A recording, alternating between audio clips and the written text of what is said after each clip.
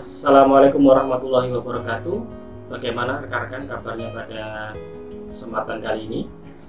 Bertemu lagi kita pada kali ini akan membahas berkaitan dengan Lumio sebagai salah satu platform yang dapat dimanfaatkan oleh Bapak Ibu guru dalam menyusun sebuah media pembelajaran collaborative learning yang di situ berbasis website, kemudian media ini free dan bisa dimanfaatkan asalkan Bapak Ibu guru dan siswa terhubung ke dalam sebuah jaringan internet.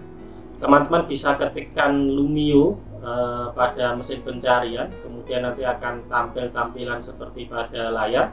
Kemudian teman-teman pilih Lumio dari Smart Technology atau Smart Tech Lumio.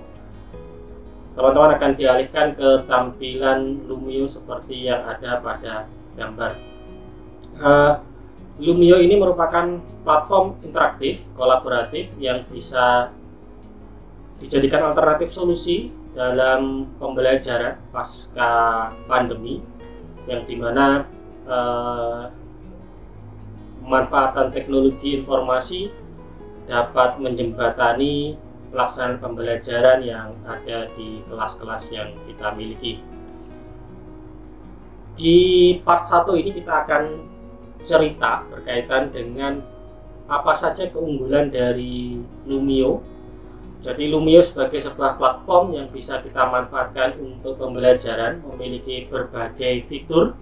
Yang pertama ada fitur untuk import material yang sebelumnya kita buat bisa berupa PDF maupun PowerPoint.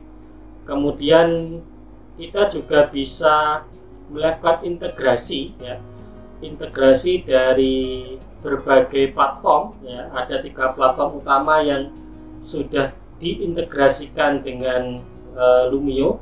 Yang pertama ada YouTube kemudian ada Desmos kemudian ada Pet Simulation nah YouTube ini kita apabila kita ingin embed atau menempelkan video pembelajaran yang sudah kita susun kemudian kita ingin masukkan ke dalam satu PowerPoint interaktif atau uh, material teaching ke YouTube, YouTube-nya masuk material teaching, kita bisa langsung embed di sini dengan memasukkan search judul video yang kita miliki.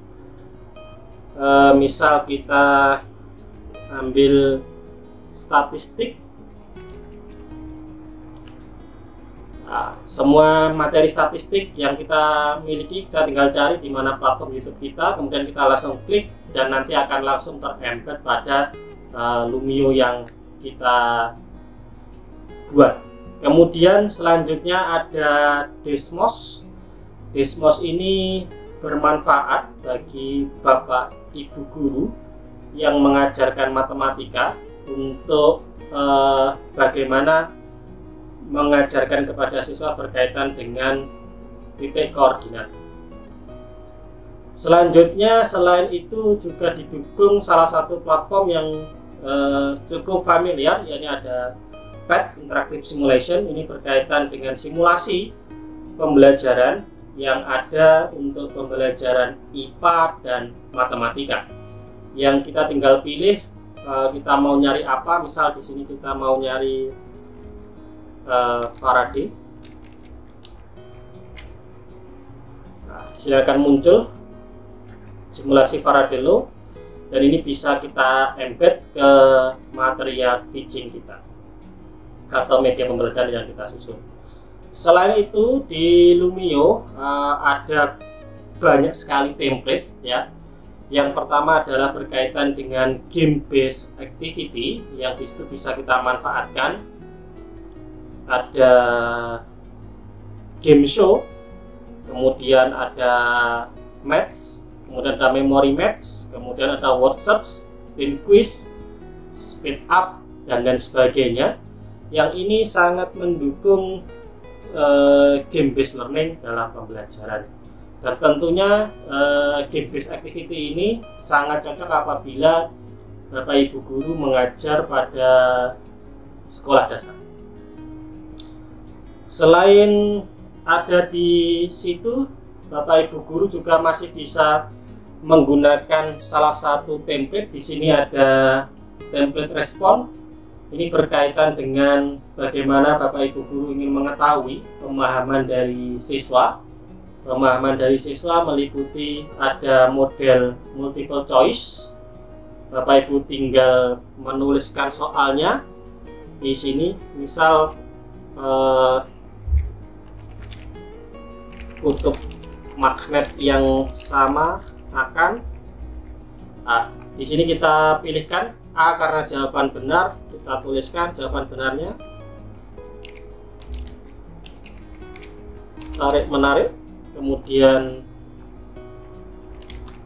tolak menolak dan seterusnya. Kemudian ketika kita sudah selesai dengan satu soal, kita mau nambah soal kedua, nambah soal ketiga, kemudian kita mau ganti formatnya menjadi soal true and false kemudian kita juga mau bikin soal uraian itu bisa kita uh, buat di platform respon yang ada di Lumio.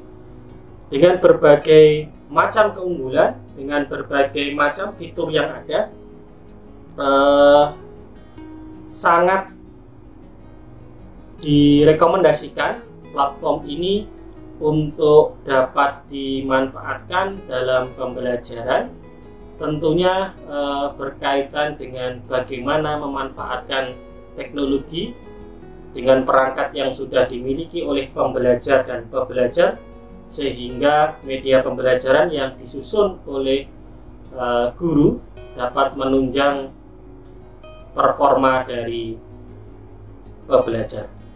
Mungkin itu yang bisa kita sampaikan di pertemuan pertama berkaitan dengan fitur-fitur yang ada di Lumio.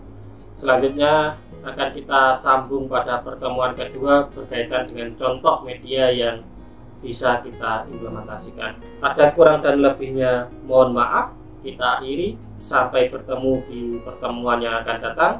Assalamualaikum warahmatullahi wabarakatuh.